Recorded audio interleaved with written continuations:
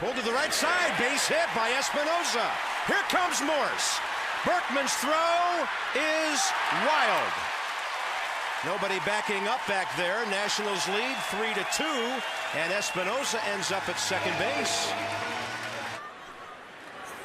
Actually, the pitcher spot. And Danny will just line one left field corner. Matt Holliday knew he couldn't catch it, so he just plays the carom. And Danny Espinosa has seven hits in this series. Two for four tonight. 2-1. There it goes. Right field. And this game is over.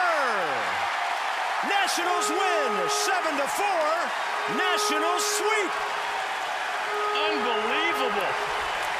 Are you kidding me?